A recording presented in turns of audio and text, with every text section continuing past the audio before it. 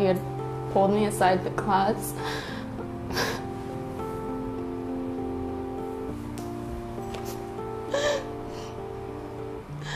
I was wearing high-waisted jeans, so it was above my belly button. When, when he had pulled me aside, there was skin-to-skin contact where my, the only way you'd be able to touch is if you went into my jeans near a very intimate area.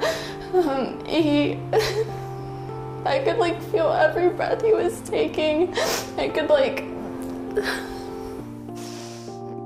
when I had like kind of turned to see him, he had like a smirk on his face and he was kind of just giggling, not really laughing, it was more of a giggle, but he's like, you know I love you, right? And I was like, yeah, because what do I say to that? He was like a second dad to me. He's like, well, you're showing a little too much. And I was like, no, I'm not. He's like, yes, you are. And I wasn't gonna argue. Then he had slapped my butt two times, and then I just slept.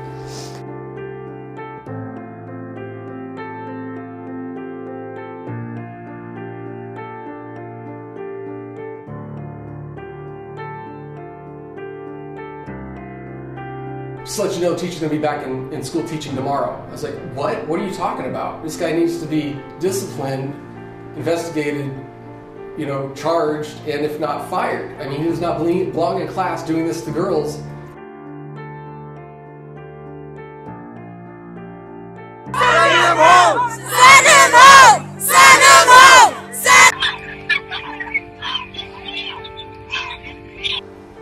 It's a lot more harder to trust people or let people into my life.